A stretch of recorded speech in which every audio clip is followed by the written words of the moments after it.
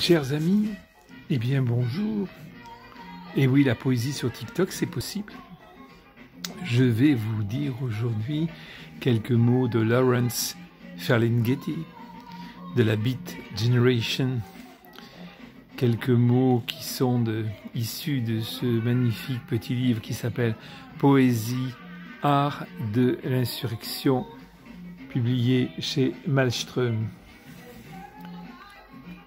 La poésie, écrit-il, la poésie est le cri que nous pousserions en revenant à nous dans un bois sombre au milieu du chemin de notre vie.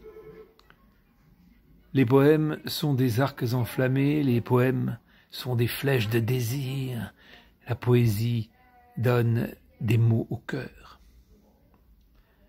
La poésie est la vérité qui révèle tous les mensonges le visage sans mascara. Qu'est-ce que la poésie? Vent qui couche les herbes, qui hurle aux clôtures disjointes. Voix perdue qui rêve, porte flottant sur l'horizon. Ô flûte ivre, ô bouche d'or, bisous bisous dans les boudoirs de pierre. Qu'est-ce que la poésie? Un clown rit, un clown pleure, tombe le masque. La poésie est l'hôte inconnu dans la maison. La poésie est la grande mémoire, et chaque mot une métaphore vivante. La poésie est l'œil du cœur, le cœur de l'esprit. Les mots attendent de ressusciter à l'ombre de la lampe de la poésie.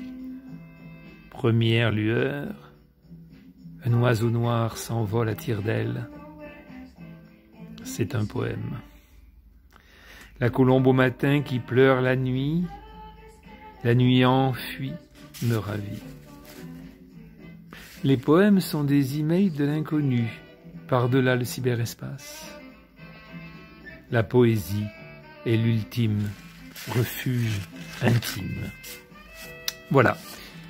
Chers amis, la poésie sur TikTok, c'est possible avec Lawrence Ferlinghetti ce soir dans une petite ambiance feutrée des salons de l'hôtel du Chêne Vert avec un petit café.